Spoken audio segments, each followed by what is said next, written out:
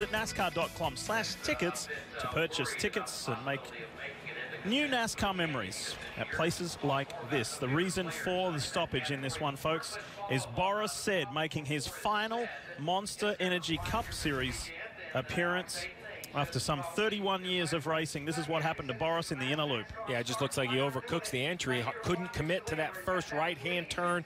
The back was moving around a little bit, perhaps a wheel hop or just a loose condition.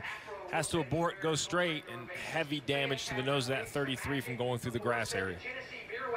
Yeah, and I think that's a, you know that's a little bit of a inexperience with this splitter. If for guys that race every week and you get in trouble, you're better off spinning in practice, right? You're better off, you know, veering away and spinning rather than running through the grass. We've seen how much damage had been done by the grass with splitters, and you know sometimes you get in trouble. He bailed out to the left, right?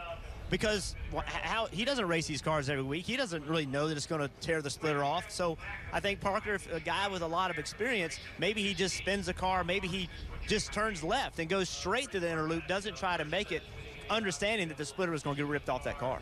Exactly, Jeff. You would want to just go to that runoff you have there in the inner loop. That's what it's there for. You overcook the brakes. You just decide, you know what, I'm not going to make the corner. No reason to go through the grass because the splitter can catch the front end and do what it did there. And then you come to a full stop. I saw a couple cars do it last practice. And then you wait for everyone to go by and accelerate and continue on your way. And that's why that's there and why the drivers are able to push it so far into that braking zone is because you have that available runoff. So uh, maybe just as you said, a, a bad choice there in terms of maybe not bailing out of the corner quick enough. Yeah, it's easy for us to say, right, Parker? I mean, yeah, exactly. you know, it's, it's you know when things happen so quickly, you know, it, it, those things you build off of experience, and without his ability, you know, his opportunity to have the experience of these splitters, the decision making he made was different than somebody that had, you know, 100 races with these splitters. There's a snapshot of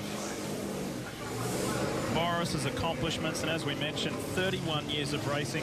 You know, there was a, a famous sports car team owner, Tom Milner, and Tom said, this kid was sleeping in his pickup truck and he said all I could see were these giant feet out the door, out the window, and he was just there hanging out uh, outside of PTG, and he said, I, I, just had to bug him until he gave me a ride. That's how determined. That's how it all started out some 31 years ago for Boris Said, and he's done many Cup, Xfinity races, sports car races.